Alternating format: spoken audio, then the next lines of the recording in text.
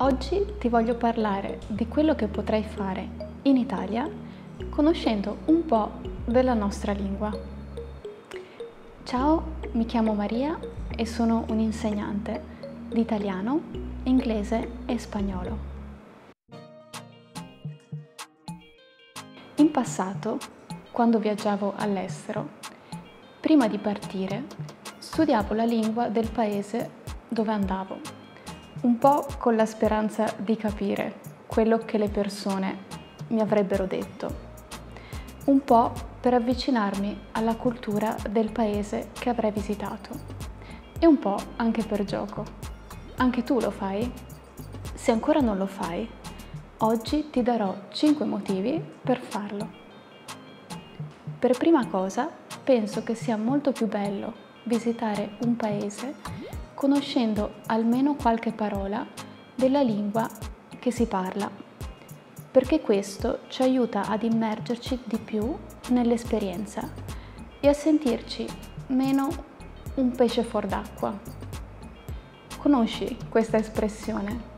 Sentirsi un pesce fuor d'acqua.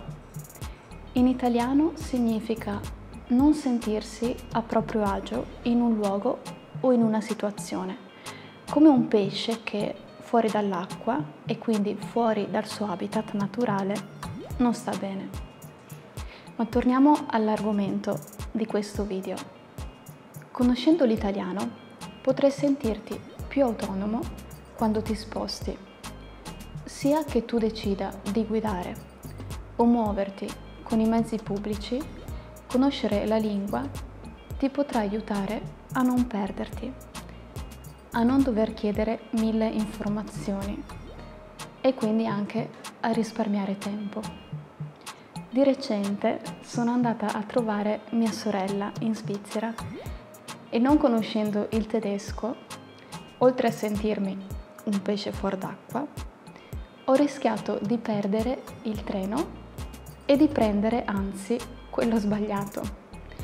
La stazione di Zurigo è infatti molto grande ed ho dovuto chiedere informazioni a tre persone diverse prima di capire dov'era l'ufficio informazioni. Potrai poi sentirti più sicuro nel visitare luoghi un po' più sperduti, dove le persone potrebbero non parlare l'inglese. In Italia, infatti, molte persone parlano inglese, ma non tutte. L'inglese è certamente una lingua più conosciuta nei grandi centri e dove c'è turismo. Potrai poi interagire con persone locali.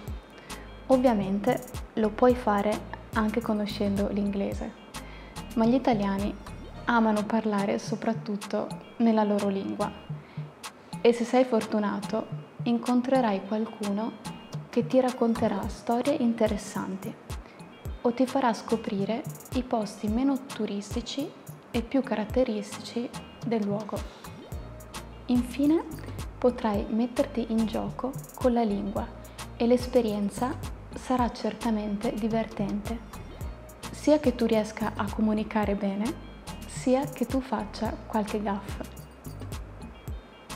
Ancora ricordo le gaff che feci quando viaggiai in Spagna, in Portogallo o quando mi trasferì in Inghilterra. Sono quelle piccole cose che rendono un viaggio indimenticabile. Spero che questo video ti sia stato utile e che deciderai di studiare l'italiano prima del tuo prossimo viaggio in Italia.